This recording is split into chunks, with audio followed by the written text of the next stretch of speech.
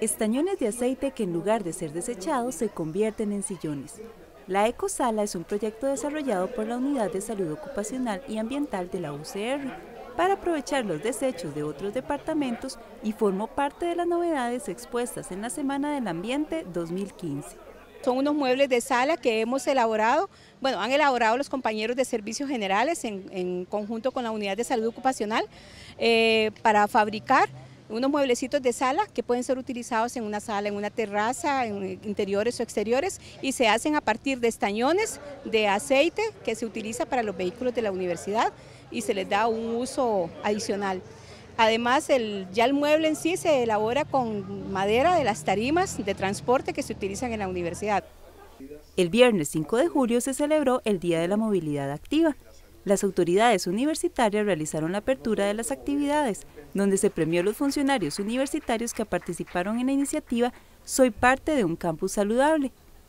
Las actividades culturales estuvieron a cargo del área de prácticas artísticas, quienes presentaron su performativa Suelos.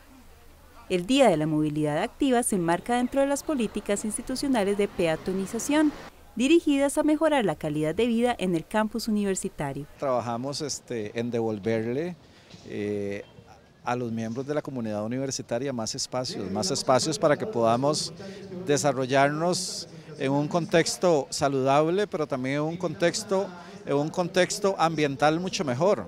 Eh, cuando vemos, por ejemplo, la alfombra verde que recién estamos pintando, ¿qué significa esa alfombra verde?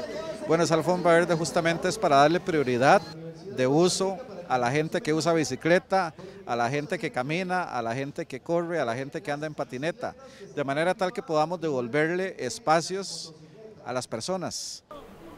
En este día no se permitió la entrada de vehículos y en su lugar medios de transporte cero emisiones como patinetas, bicicletas, go-karts de pedal y patines ocuparon el campus.